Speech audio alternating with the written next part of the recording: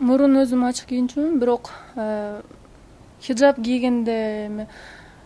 как бы